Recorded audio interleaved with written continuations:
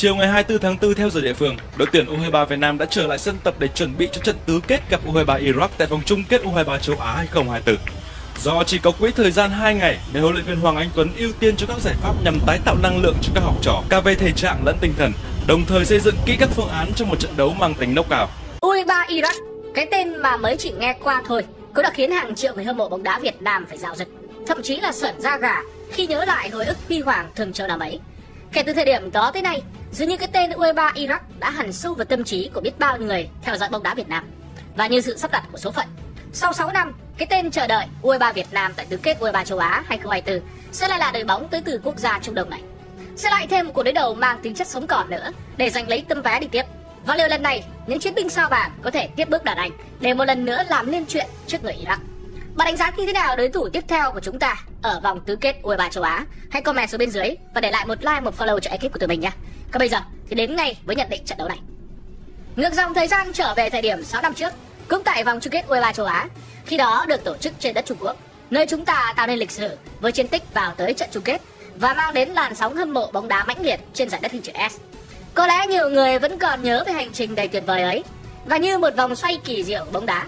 Sau 6 năm, rất nhiều nét tương đồng đang được hiện ra trên chặng đường mà chúng ta bước đi với khát khao một lần nữa đem về sự tự hào và niềm vui cho những người con của dân tộc Việt Nam. Một lần nữa U23 Việt Nam lại vượt qua vòng bảng với thành tích đứng thứ hai tại bảng đấu của mình. Và cũng lại thêm một lần nữa sau khi vượt qua vòng bảng, mối duyên nợ của chúng ta đến với cuộc đấu tứ kết gặp U23 Iraq. Tại trận tứ kết năm 2018, chính đội tuyển U23 đến từ đất nước Trung Đông này cũng đã bị chúng ta vượt qua sau 120 phút đầy kịch tính, quả cảm cùng loạt penalty cực kỳ cảm xúc. Sau 6 năm, mọi thứ đã thay đổi rất nhiều, từ địa điểm thi đấu đến hoàn cảnh, phong độ lẫn cả con người. Tuy vậy, chiến thắng mà chúng ta từng có được trong chặng đường viết nên lịch sử năm 2018 cũng có thể được coi là cơ sở để người hâm mộ bóng đá Việt Nam một lần nữa có thể đặt niềm tin vào các chiến binh của U23. Dưới bàn tay huấn luyện của huấn luyện viên Hoàng Anh Tuấn, toàn đội đã cùng nhau thi đấu để mang về thành tích khá tốt sau 3 trận ở vòng đấu bảng. Theo những thống kê được đưa ra, đây là lần đầu tiên U23 Việt Nam chắc chắn có được tấm vé vào chơi tại tứ kết vòng chung kết U23 châu Á chỉ sau hai lần trận đầu tiên. Đồng thời chúng ta cũng đang là đội bóng Đông Nam Á đầu tiên trong lịch sử thắng cả hai trận mở màn ở sân chơi này. Về mặt trận tấn công, U23 Việt Nam có tổng cộng 5 lần khoan thủng được mảnh lưới đối thủ. Với thành tích đó, chúng ta đang trở thành một trong năm đội có được thành tích làm bàn tốt nhất sau giai đoạn vòng bảng ở giải đấu năm nay. Những điểm sáng là điều có thể nhìn ra đến từ những cái tên như là Quan Văn Chuẩn, Lê Nguyên Hoàng, Lương Duy Cương, Thái Sơn, Minh Khoa hay là Bùi Vĩ Hạo. Tuy vậy bên cạnh những tín hiệu tích cực, những vấn đề xoay quanh lối chơi và cách chơi của U23 Việt Nam là điều khó để các cổ động viên có thể nhận thấy. Chúng ta đang là một trong năm đội bóng có số lần phạm lỗi nhiều nhất tại giải đấu với 38 lần bị các trọng tài cắt còi thổi phạt. Số lượng thẻ phạt mà chúng ta phải nhận cũng nằm trong top đội nhiều nhất khi chỉ trong 3 trận đấu vòng bảng, U23 Việt Nam phải nhận tới 7 tấm thẻ vàng và một tấm thẻ đỏ.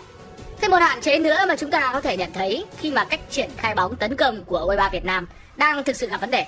Các cầu thủ trẻ của chúng ta vẫn có những thời điểm đỡ bước một chưa thực sự gọn gàng hay thường đưa ra những đường chuyển vội vàng, thiếu sự chính xác. Trong nhiều tình huống kiểm soát bóng, các chiến binh sao vàng vẫn chưa thể cho thấy được độ tĩnh cần thiết để phối hợp luân chuyển trái bóng. Điều đó dẫn đến việc U23 Việt Nam vẫn thường gặp khó khi đưa được trái bóng tới 1 phần 3 phần sân đối thủ. Ngoài ra một điều nữa cũng cần phải nhìn nhận đó là sự chênh lệch trình độ giữa đội hình chính và các cầu thủ dự bị.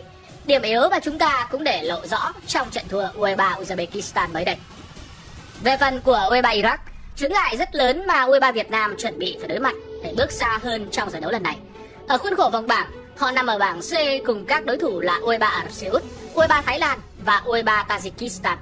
Mặc dù đội bóng đến từ Tây Á đã phải nhận thất bại ngay từ lượt trận ra quân trước một đội bóng Đông Nam Á khác, đó là U23 Thái Lan với tỷ số 0-2.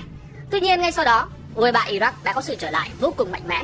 Họ có được cho mình chiến thắng 4-2 trên đội bóng yếu hơn là U23 Tajikistan trước khi thi đấu đầy ấn tượng để vượt qua ứng cử viên hàng đầu cho ngôi vô địch U23 Ả Rập Xê Út. Kết thúc chiến dịch vòng bảng, U23 Iraq đã có cho mình được tấm vé đi tiếp với vị trí nhất bảng C. Họ cùng có được 6 điểm giống như U23 Việt Nam, nhưng các đối thủ tại bảng đấu này của U23 Iraq được đánh giá cao hơn nhiều so với những tên tuổi chúng ta đã phải đối mặt. Chia sẻ sau trận thắng trước U23 Ả Rập Xê Út, hậu vệ của U23 Iraq Mustafa Sadun đã tự tin phát biểu. Chúng tôi học hỏi từ những sai lầm và cố gắng làm mọi thứ tốt hơn. Một đội bóng mạnh là tự mình phải đứng dậy và vượt qua những thách thức. Mục tiêu của chúng tôi là ghi tên mình vào trận chung kết. Đây là phát biểu hoàn toàn có cơ sở đến từ cầu thủ của U23 Iraq, bởi đội bóng này đã có quá trình chuẩn bị cực kỳ chú đáo trước khi bước vào vòng chung kết U23 châu Á năm nay với mục tiêu là giành được tấm vé tới chơi tại Olympic Paris 2024. Họ đã liên tục cho mình những chuyến tập huấn tại các quốc gia khác như là Tây Ban Nha, Maroc hay là UAE. Huấn luyện viên trưởng lúc này của U23 Iraq là ông Rahi Sainaisin, một vị huấn luyện viên rất giàu kinh nghiệm và từng nhiều lần dẫn dắt đội tuyển quốc gia Iraq trong quá khứ. Sau 2 năm kể từ khi nhận nhiệm vụ, vị huấn luyện viên này đã dẫn dắt U23 Iraq thi đấu 25 trận. Trong số đó, U23 Iraq đã thắng 15, hòa 5 và thua 5. Cùng dưới sự dẫn dắt của vị thuyền trưởng này, U23 Iraq cũng chính là những người vừa giành được ngôi vị cao nhất tại giải U23 vùng vịnh năm 2023 tổ chức trên sân nhà của họ. Trước khi đến với trận đấu gặp U23 Việt Nam, đội bóng này cũng nhận được sự động viên rất lớn khi mới đây đích thân huấn luyện viên trưởng đội tuyển quốc gia Iraq Jesus Casas đã tới thăm và xem toàn đội tập luyện. Ngoài ra xét về yếu tố thể lực, không chỉ sở hữu thể hình to cao và nền tảng sức mạnh thể chất tốt hơn, U23 Iraq còn có lợi thế khi được nghỉ ngơi nhiều hơn thầy trò huấn luyện viên Hoàng Anh Tuấn một ngày. Đây được coi là điều mà U23 Việt Nam cần phải tính toán thật kỹ để tránh việc gặp những bất lợi trên sân khi hai đội đối đầu trực tiếp với nhau. Xét về thành tích trong lịch sử đối đầu ở đấu trường này, U23 Iraq rõ ràng là những người có phần nhỉnh hơn. Họ chính là nhà vô địch đầu tiên của giải đấu vào năm 2013 và sau đó 3 năm, chính U23 Iraq cũng đã có được vị trí thứ ba để mang về tấm vé tham dự Olympic 2016. Còn đối với U23 Việt Nam, thành tích tốt nhất mà chúng ta từng có được là lần góp mặt trong trận chung kết năm 2018 trên đất Trung Quốc của thầy trò huấn luyện viên Park Hang-seo. Tuy vậy, chúng ta có lý do để có thể tự tin khi được độ đối thủ này. Trong quá khứ, U23 Việt Nam và U23 Iraq từng gặp nhau hai lần.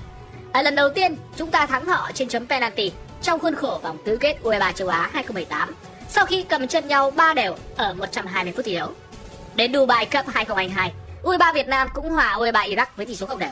Có thể nói đây là điểm tựa cho thầy trò huấn luyện viên Hoàng Anh Tuấn để các cầu thủ của chúng ta không phải e sợ đối thủ của mình. Cao thủ U23 Việt Nam chúng ta đang nỗ lực từng ngày để khắc phục đi những yếu điểm và phát huy điểm mạnh của mình nhằm mang về những kết quả thật tốt. U23 Iraq rõ ràng không phải là đội bóng dễ chơi. Họ có đầy đủ những yếu tố được coi là đội bóng mạnh và các chiến binh sao vàng sẽ thật sự cần phải giải chừng.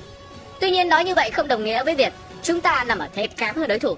Vào tới các lượt trận đấu loại trực tiếp như thế này, chắc chắn cả hai đội đều phải có những sự chuẩn bị và nghiên cứu rất kỹ về nhau.